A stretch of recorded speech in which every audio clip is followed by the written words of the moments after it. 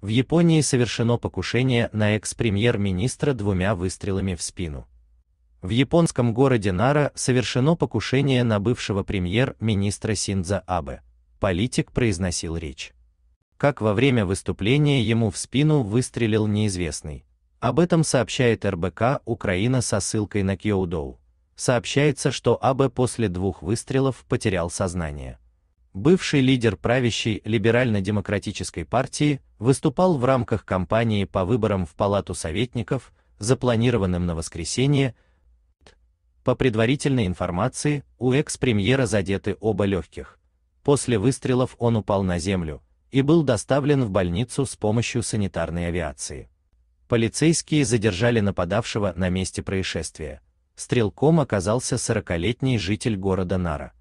Ранее сообщалось, что Япония ввела санкции против России и Беларуси за вторжение в Украину. В санкционный список попали 57 граждан России и 6 компаний. Срочные и важные сообщения о войне России против Украины читайте на канале РБК Украина в Telegram –